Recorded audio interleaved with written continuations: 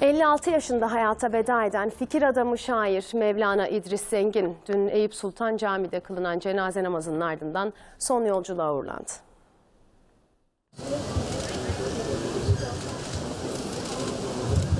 Türk Edebiyatı bir usta kalemini daha kaybetti. Özgün kalemi, şiirleri ve yazılarıyla geniş kitlelere ulaşan Mevlana İdris Zengin dün son yolculuğuna uğurlandı.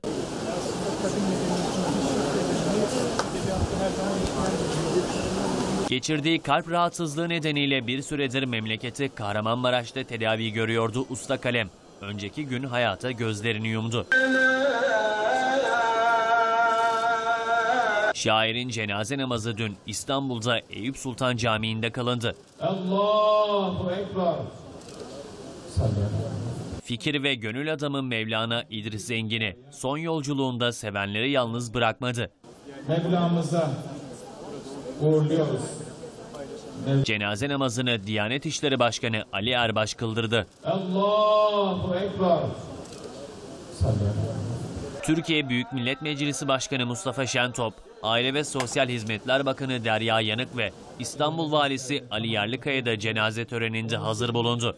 Çocukların abisi, amcası.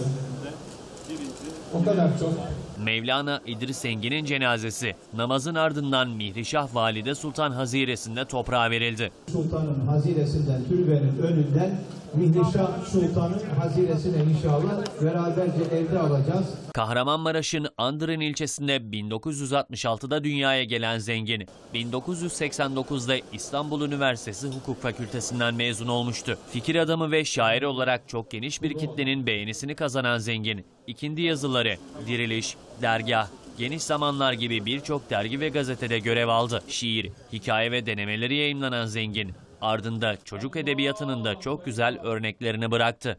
Cenazemizi Eyüp Sultan'ın haziresinden, türbe